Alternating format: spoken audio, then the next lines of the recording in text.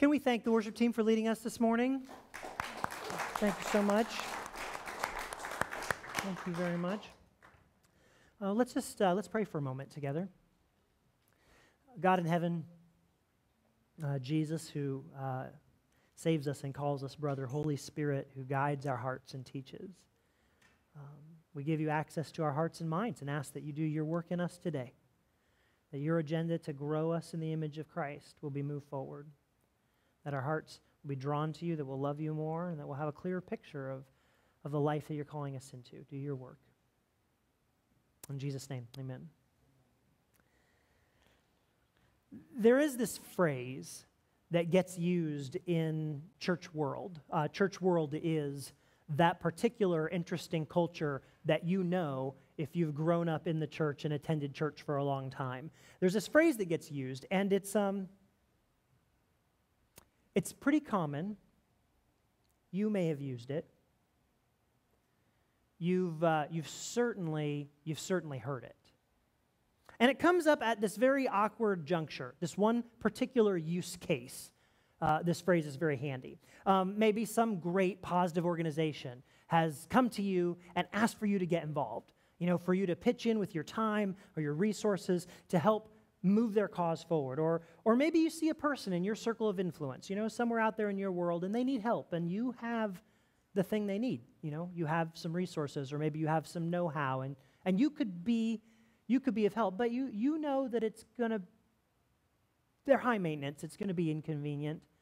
It's going to, it's going to take a little more effort than you really want to put out right now. Or maybe the situation's closer to home. Maybe uh, Marcia has called you and asked if perhaps you would be her classroom assistant in children's ministry this month. Or maybe Carrie asked you if you would join in with the Milwaukie High School outreach program and help make peanut butter sandwiches for a block of time. Or, or maybe one of the elders has talked with you about stepping up in some area, student ministry, or helping out with, with elder care. And, and this phrase, you might, you might not even be formulating in your mind. It just pops out. It just pops out. You'd never use it at work. You'd never, I, I highly recommend against using it at home.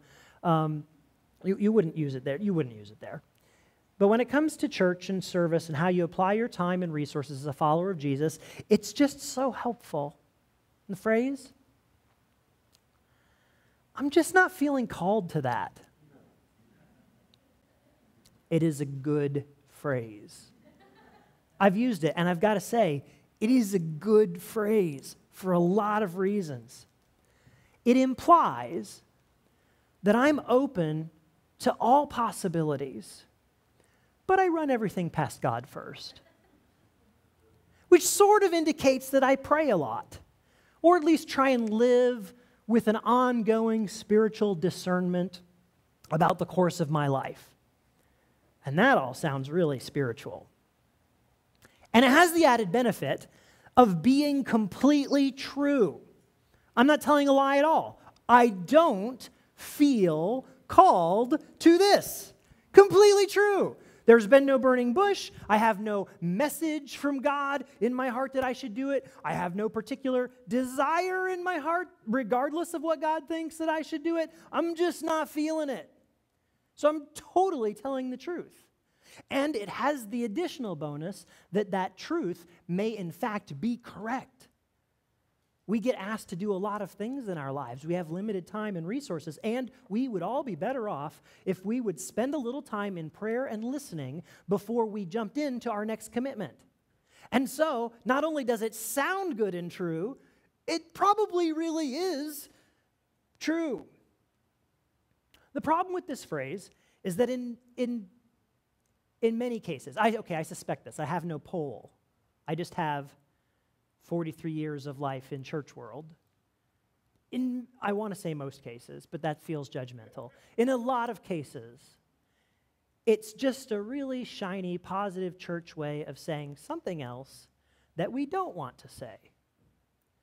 So instead of saying, I don't have time, and then having to get into the conversation about my priorities, I can just say, I'm not feeling called to this. Or instead of saying, I'm a little concerned if whether I'm a good match. Like, I don't know if I measure up to what's necessary to make this work. And, and then I, I, if I bring that up, then I have to sort of unpack my performance baggage and talk about feeling less than and all that junk. Instead of talking about any of that, I can just say, oh, I'm just not feeling called to it. Or I can say I'm not feeling called when really what I want to say is, I just don't want to. I just, I just don't want to do that. So, around here at Bridge City, we would really like everyone to be able to just tell the truth. It's hard to do that, I know. We have lots of baggage and conditioning to not do it. But we don't want Bridge City to be a place where people feel compelled to be nice and appropriate and uh, never say what's really true for us. And the reason that we want to do that is not because we have some Portland ideal of being authentic. The reason we want to do that is because that's how we grow. We grow when we tell the truth. And so around here, it needs to be okay for you to say, without having to justify yourself, I don't have the time right now. It needs to be okay to say that. I know it feels awkward because it brings up all that people pleasing baggage and it brings up all the performance baggage and it brings up all that stuff about that we grew up with, those of us that grew up in church world, about what good Christians ought to be doing and how good Christians ought to be spending their time. And so I know it's awkward. I know it's really hard. And so we're just going to practice for a moment. Okay? Many of us are church world people. Um, this is something that we need to, to practice. So I want you to turn to the person beside you, and I want you to look in their eyes, and I want you, I, I'm going to give you two options. I want you to just say to them, with no um, anxiety in your voice, I want you to just say, I don't have time for that right now. Don't, don't make it all whiny. Um, don't make it like you're apologizing for yourself. If you want, if you want, if that feels really awkward, you can preface it by a very short declarative, I'm sorry. Don't pack those words full of meaning. Just say, I'm sorry, I don't have time for that right now. So just turn to the person beside you and say that. Look in their eyes and say that.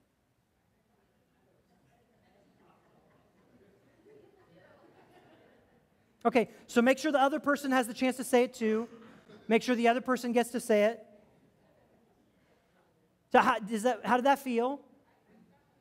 Anybody, how did that feel? A little awkward? A little uncomfortable? Okay, here's another one. Here's another one. Turn to the person and say, you don't have to explain yourself. Just say this phrase say, I'm sorry, I'm not the best choice for that right now. Try that.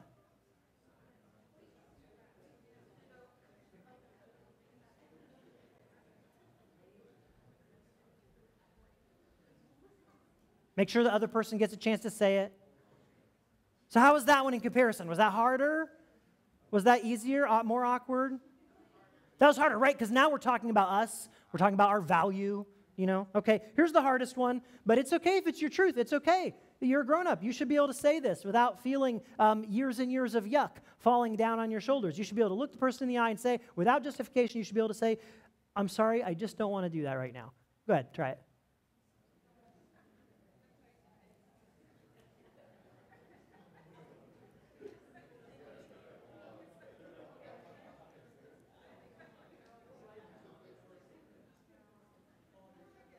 Should anybody like to say that to me right now about this exercise? Yeah? How did that one feel? How did that one feel? Did it feel like you were just like stepping out into nothing? Like I have no reason or justification, like I'm just sort of throwing my personal value to the wind here, right? You know? But why is that? Ugh. Telling the truth is hard. Telling the truth in community is hard. Um, we need to be able to do that with each other. And I want, I want to give you this introduction today because we are going to talk today about being called to serve. And I'm going to, I'm giving you a heads up, I'm going to push a little bit hard on getting involved in service here at Bridge City. And I'm not, I'm not going to manipulate you, I'm not going to pressure you. Uh, I'm just going to tell you what's so about where we are and what kind of community we want to be. And while I'm doing that, I want you to be fully aware that we trust your journey with God and that we consider you grown ups and that it's okay for you to say, I don't have the time for that right now, or I'm not sure I'm the right person for that right now, or I don't want to do that. It's okay to say those things. It doesn't mean that we won't maybe have other conversations about why that is, because that's how we grow, right? But it's okay for you to say those things. And we want you to be able to feel that without guilt, without shame, none of that pressure. So today's closing up this series, our fifth week on this concept of generosity. I thought I was getting off easy talking about generosity instead of giving. Turns out um, that was wrong. Generosity is complicated and gets to deep places in our hearts. And we've seen in this series that our current level of generosity, how we relate to generosity, is directly tied to the level of fear with which we live. And as followers of Jesus, that comes really close to our level of faith. And so there's this, this interaction fear and faith and generosity. And we've also seen this series that practicing generosity in tangible ways, giving what we have to give, actually is one of the most direct ways we can build our trust in God. Every time we choose to give, we're speaking against those voices in our head that we're not enough. We're speaking against those ideas that God's not enough. Every single time, we're practicing living in faith. And we've also seen, like I mentioned, a lot of stuff bubble to the surface. Because when you start talking about being generous, then you start looking under the rocks and discovering maybe why maybe you aren't generous or why generosity is hard for you. And that's almost always tied to difficult, painful things in our stories. And one of the practical applications, there's many, but one of the practical applications that we're going to talk about today is how we give and how we serve here in our community of faith. How, how do we do that? And see, around here, we're not just a bunch of people who randomly, coincidentally happen to show up in the same space at the same time. Right? We're here, whether it's in this room to worship today or participating in the life of the body, we're here because of, of some choices about who we want to be and how we want to be connected in community. And around here at Bridge City, we have some shared commitments. And one of those shared commitments is our mission. If you consider Bridge City to be your spiritual home, certainly if you've signed your name and become a family member, then you are a part of our shared commitments. Our mission, our first shared commitment, is to love God, to love people, and to bless and serve the world. That's what we want to be up to. That's what we want to be growing in. That's what we want to learn how to do. And when you become a part of us, you're saying, I'm taking that on. I'm sharing that, commu- that commitment with this community. But there's an additional piece to it that we talk about sometimes. Not only have you made a commitment to orient your life around loving God, loving people, and blessing and serving the world, but we have made a commitment to help each other do that. And that's part of what it means to actually be the body. I'm not just here being a Christian, I'm here being a Christian among you. And you're here being a Christian among us. And we're doing it together so that we can all grow together. And so we have a commitment to love God, to love other people, and to bless and serve the world. And part of that is that we have a commitment to help each other love God, love people, and bless and serve the world. You help me, I help you, we help each other. And practically speaking, that means that there are certain things we do in this community that are part of keeping that promise to each other. Right? So, for example, Aaron Hutter, he gets up uh, early every Saturday morning and he comes here to the Bridge House and he opens all the doors and he turns on all the lights and he warms up the coffee machine and he straightens the worship center and takes out stuff that shouldn't belong in here and he makes it look nice and he makes it look welcoming. Why does he do that? Why? Well, he cares about details, he likes to serve, but also it is a part, it's one way that he gets to express his love for God, his love for other people, and his desire to bless and serve.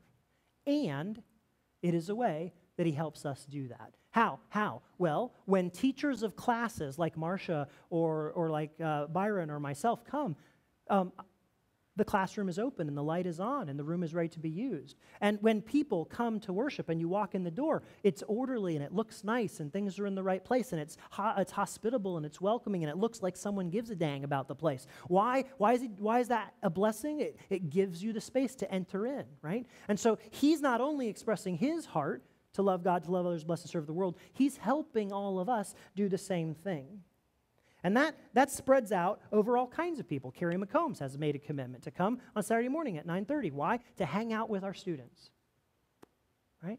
To be present with them. And so he's made a commitment that that's going to mean that he's going to connect with them during the week and call them up so that they have a relationship and might want to hang out with them on Saturday morning. And he's going to do things like this hike after church. Why? To create relational space so that they can be together and have fun and build relationships. And maybe he's going to put together maybe some questions or some material that will encourage them to think about their lives and grow spiritually. Why? Well, part of it is because it's an expression of Carrie loving God, loving people, and blessing and serving the world. But also, it's a way he helps us do that, right? He's helping our students. He's helping our students love God, love each other, and bless serve the world. And he's helping our parents of those students by providing a space for those kids and being an additional positive, Jesus loving adult in their lives. And so it's both of these things, both and all the time. It spreads all across, uh, uh, all across our community. Ken Knoll and Greg Morrow and Sean Metzger and Dave Snodgrass get up earlier than anybody else that comes to church so they come and set up all of this stuff and wire it up so that it works and make sure everything's functioning and we don't have yucky, horrible things coming out of the speakers. And they sit up there there and they make it all work together. Uh, why? Why? Well, it's one way that they express their love for God, love for people, bless and serve the world, and it's a way they help us do the same thing, right?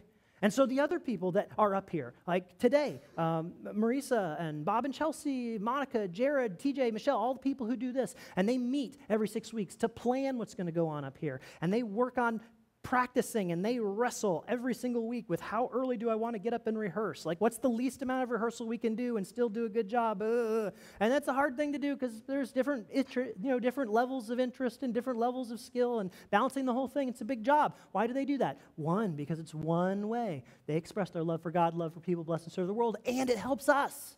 It creates an environment where we get to do the same thing. Jeff Willard, Barbara, uh, Betty Hale, Nettie, uh, Nettie, Nelson, Barbara Thorpe, all those people, um, Bonnie Guy, to help us with potlucks and food, right? It's easy to think, oh, they're just down warming up food in the oven. No, they're doing something that allows them to express their love for God, their love for people, and blessing and serving the world. And they're helping us because they create these spaces where we can come in and sit down around good food and have conversations. And that helps us through the process of loving God, loving others, and blessing and serving the world. All across what we do at Bridge City. Christina and Marcia with children's ministry. Uh, Beth and Joyce, Saturday morning class. Bob and Byron as elders, taking calls during the week, offering counsel, uh, meeting with me weekly so that we can make good decisions that are healthy for our church. See, these are all things that happen around here. And all of them happen because of people who noticed a need, who may have felt a burden about that or not, but who said, Yeah, I'll serve. Here's the funny thing. Remember our sentence, I'm not feeling called to that. Here's the funny thing most of the people that I, that I shared with you don't have some kind of special, supernatural, divinely ordained sense of calling to that task. Right? Some, some might. You know, I suspect that Carrie has a deep sense of spiritual calling to the relationships he's building. But, but not all of us have that. Some people just saw a need and had the ability to enter into it and said, Yeah, I want in. I want to help. And here's what I want you to get I want you to be clear that biblically, neither one of those paths is better than the other. God works in lots of different ways. The idea of calling in Scripture is very broad. And so you have certain famous stories, which are the ones that we look at when we talk about calling. And we go, oh, that's what calling must be, like the calling of Isaiah the prophet. So Isaiah is this Old Testament prophet, wrote this giant book in the middle of the Old Testament. And if you want to read his calling story in Isaiah chapter 6, it's amazing. It is CGI, pyrotechnics, you know, uh, hallucinogenic drugs. It is crazy. He sees God on the throne in all of this splendid color, and God's there, and it's overwhelming, and the angels fly down, and one of the angels has something fiery, a fiery coal, and he puts it right on Isaiah's face, on his lips, and Isaiah thinks he's going to die. And God says, Who can I send? And Isaiah's like, Me, me, me, send me, right? Huge, clearly God intervening moment. But there are also examples in the Bible where calling happened in a much different way. David was at the battlefield, not because God asked him to be there, he was at the battlefield because he wanted to see the action. He was interested in what was going on. And so he went out to the battlefield, and what did he see? He saw this giant, and, and everybody's afraid, and nobody's willing to fight. And he hears his God and his country being slandered, and something twists in his heart, and he feels like something needs to be done about this. But you know what? He wasn't equipped for it. He didn't have the right tools, he didn't have the right training, he wasn't physiologically the right, strong, big person who should solve this problem. None of that happened. He was in the moment, he saw something, there was an ought that formed in his gut, he acted, and it changed the course of Israel's history. Then in the book of Acts, there's a completely different calling story. Uh, I, think, I think it's the first recorded instance of uh, setting up a new church ministry, right? This is in Jerusalem, very early in the history of the church. And up to this point, the disciples are preaching and they're leading, and people are just gathering. It's all very organic, right? And, and there's this problem that developed because in the church in Jerusalem at this time, there were really two groups of people. There were followers of Jesus who used to be Jews, who grew up in the Jewish culture, and Jesus was just the next logical step, the fulfillment of what they had learned. And then there were these other followers of Jesus who hadn't grown up Jewish. They were Gentiles, non Jews. They had a completely different religious background, completely different cultural background. And in the church in Jerusalem, you had both of these people. And now the Christians who'd grown up in the Jewish community, they, they got the idea of living in community. Why? Because culturally, that's what they'd already been doing in the synagogue, right? They were used to coming together to study. They were used to coming together to eat together. They were used to taking care of each other's needs. That all happened in the life of the synagogue. But the people who had the other culture, the Gentiles, didn't have that experience. And one of the things that the early church in Jerusalem did is they took up a special offering. It wasn't an offering like we do now um, here in church, but every week they collected up extra food that people had. And they took that food around and they delivered it to other members of the church that didn't have enough. And the problem that developed was that the certain group of women, these widows, who then, because they're widows, have no form of financial support. These widows, who were Gentile, not Jewish, they were getting left out of this routine. Right? So they'd collect the offering of food, they'd gather it all in, they'd go around to the houses of the people who needed food and they'd share it. But for some reason, we don't really know why. We don't know if it was uh, administrative oversight or racism. We don't have any idea why. Those women were being left out. And somebody stood up. I think, it, I think the text seems to indicate that it was one of the women who stood up and said, Hey, this is a problem. Right? And something happened.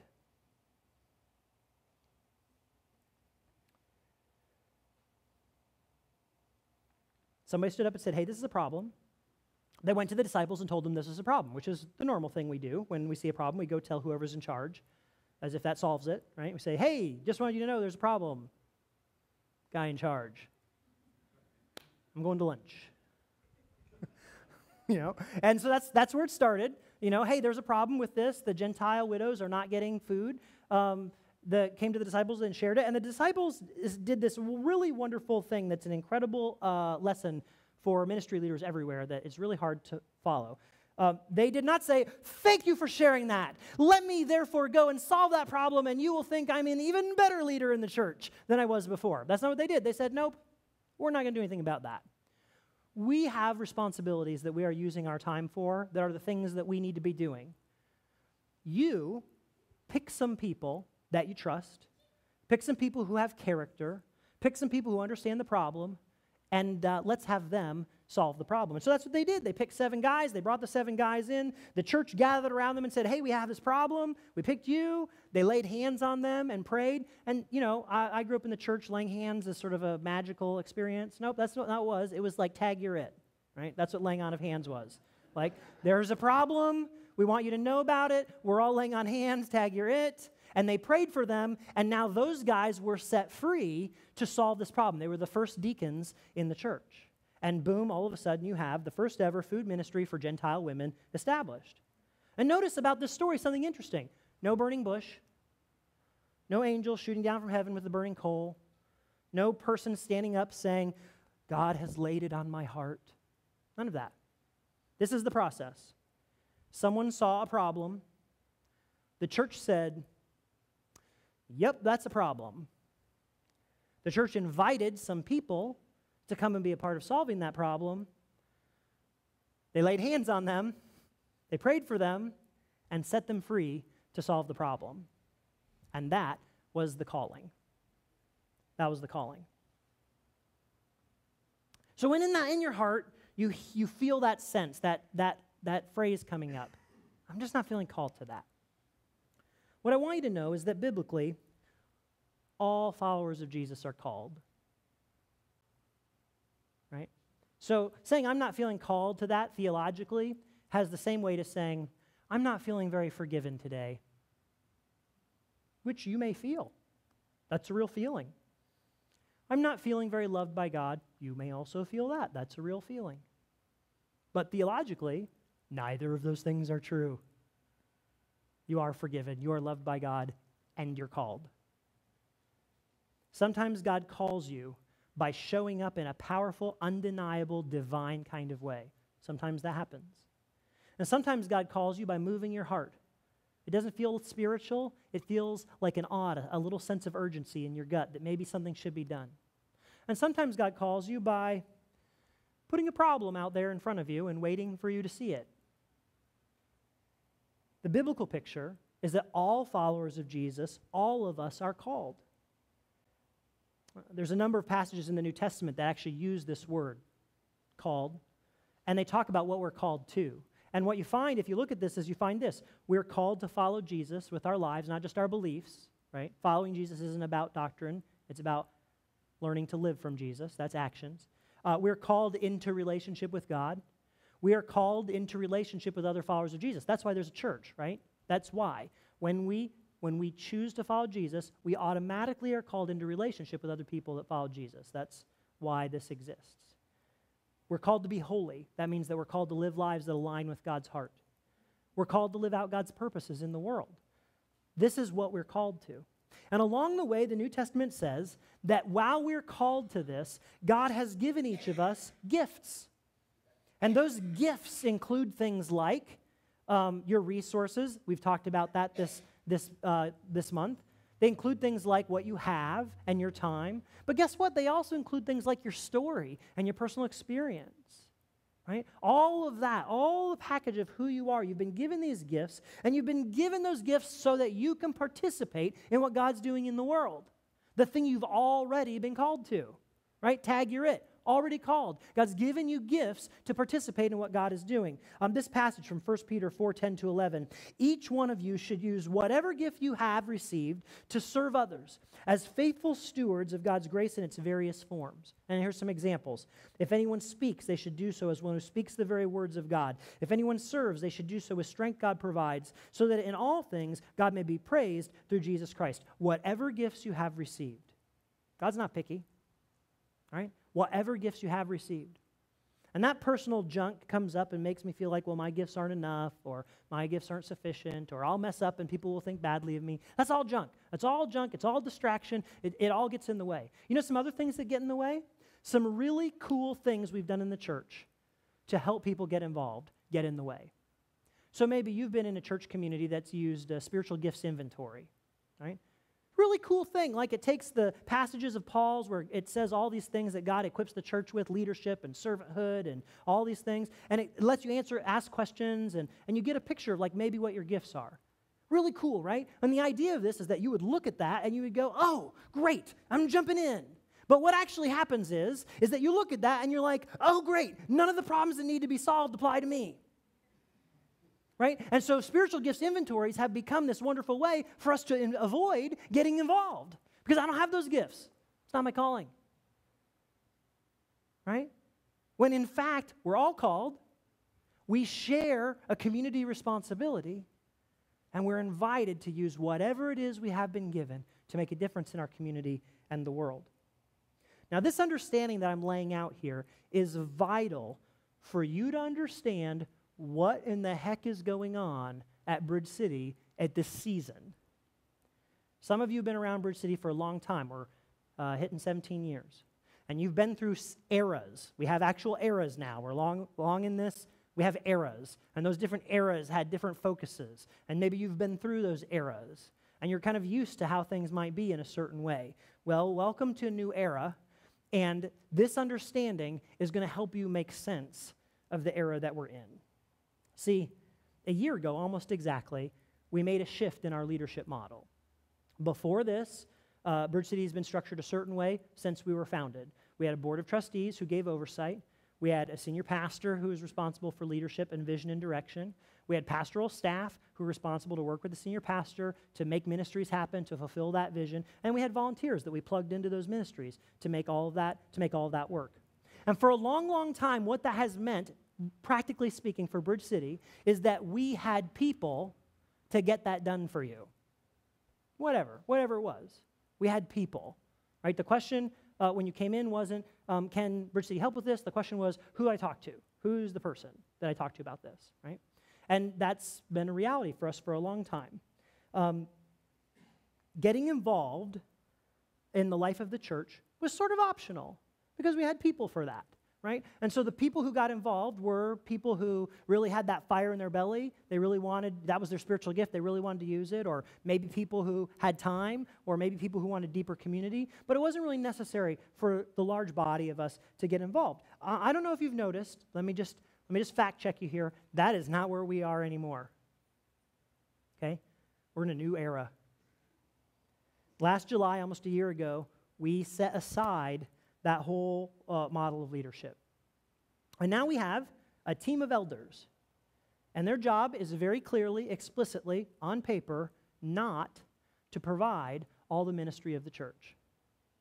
Their job is to care for people, to encourage spiritual growth in people, and to meet together consistently to help do strong, smart, wise decision making so that our church can be healthy and effective. That's their job. So that leaves this huge gap in the job description that you might be noticing. Who around here does the ministry? Do you have any guesses? Who does the ministry? Who does the ministry? Who, who does the ministry? Funny joke, not funny. We do the ministry. We do the ministry. If you consider Bridge City your spiritual home, particularly if you've signed your name on the line and become a family member, you are part of the ministry team. Welcome to the staff. It's an unpaid position, there's no benefits. You are part of the team. And so here's the thing whatever ministry is going to happen here in Bridge City, whatever ministry we're going to do in Portland and in the world is going to happen because people people, us, decide that's the thing that matters. It seems to be the thing God's putting in front of us. Yes, we're going to do it. Okay, now there are some clear trade offs in this transition. There are some losses, right? You may have noticed if you've been around through some of our eras that we are not providing as much as we used to provide. You might have noticed that, right? You may have noticed that things around here maybe don't feel quite as organized as they used to feel sometimes. We know that's because not everything is running through the bottleneck of a couple of people. You may have noticed that uh, there are some things around here that are just plain not getting done. And that's not because those things aren't important, it's because we made a commitment that the elders are going to do their job, which is to care for people and to encourage people's spiritual growth and to meet together and pray for the church and make decisions, and that we are going to do ministry. And we're going to do that in a sustainable fashion, right? And so there's some gains from this as well. Maybe you've noticed these gains. We are no longer trying to plug people into a machine so that we can just keep the whole thing rolling forward. That's happened for us. We're not, we're not trying to do that anymore. Um, we are not limiting people by a narrow vision of what has to happen because in the past the vision has been kept by one or two people, right?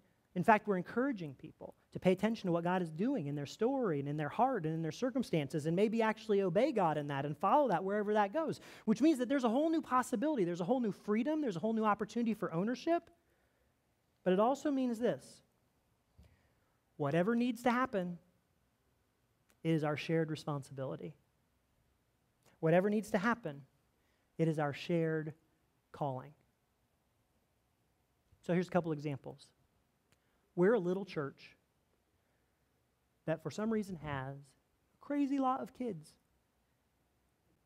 And those kids, they can't just convene a Bible study on their own, right? Um, that would be a disaster, right? They need people to care for them and love them and teach them Jesus. And what you need to be absolutely clear on is that is not Marcia Morrow's responsibility. It is our responsibility. How are we going to step in to that calling? We have another group among us, uh, incredibly important people who are at a vital juncture in their lives, figuring out who they are and how they are going to incorporate Jesus into their future, our students. Make absolutely no mistake, they are not Carrie's responsibility. They are our responsibility and calling. How are we going to step into their lives and encourage and care for them? We have some new families who've come on board and joined us in the last year. And getting involved in a new church is a really hard thing. It's scary, it involves stepping over some emotional hurdles. And in some ways, getting involved in a small church is the hardest of all. Because in a big church, you can just sort of fit in, you're anonymous, it doesn't feel personal when people don't notice you. But in a small church, when people don't notice you, oh, it feels kind of personal. It feels like maybe they noticed us, right? And I want you to know for clear for sure. Integrating those people, welcoming those people, helping those people get on board with our culture and what we're doing as a church is not the responsibility of the elders. It is our responsibility as a community. It is our calling. What are we going to do to engage them?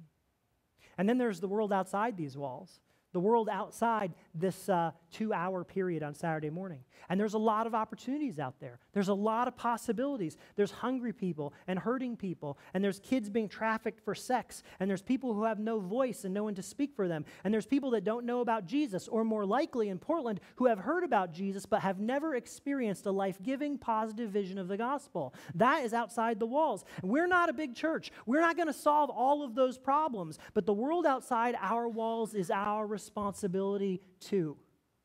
It is our calling.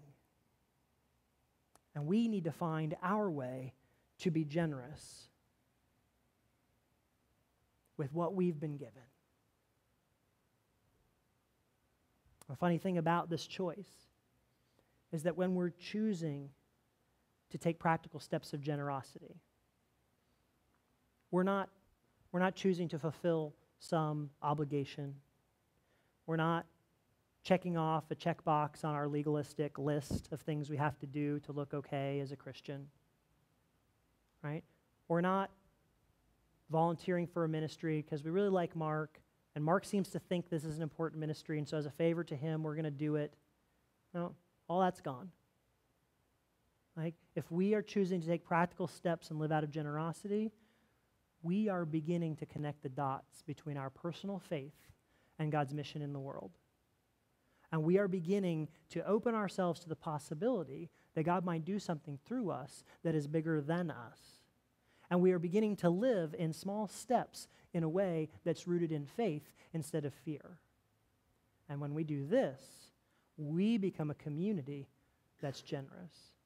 And God will pour through us what God wants to do in our lives and the world around us because we've become the kind of people that God knows will release that out into the world, not the people who will hold on to it out of fear and uncertainty. So, you're called, already called. An angel might not have flown down and touched your lips, but you're called. So, what are you going to do about it? Let's pray. Father, as you are moving us forward as a church into new things, I feel like you are, are asking us to something that's more natural and organic, to something that has uh, more flexibility and freedom, to something that has the ability to respond quickly to the needs around us. I believe that you want to provide to us and through us to make a difference in the world. And so I ask that you will speak to our hearts individually about where we are, about what we have, and about how we can begin taking practical steps of generosity in our lives. Help us become generous people. Help Bridge City to be a generous community. Help us to make a generous impact in the world around us. We love you. We thank you for who you are and what you're doing here. In Jesus' name, amen. Our worship team is going to play music for a couple of minutes. I want you to just sit with this. Maybe God's saying something to you. Maybe there's something stirring in your heart. Um, if it's guilt, we talked about this in my class this morning.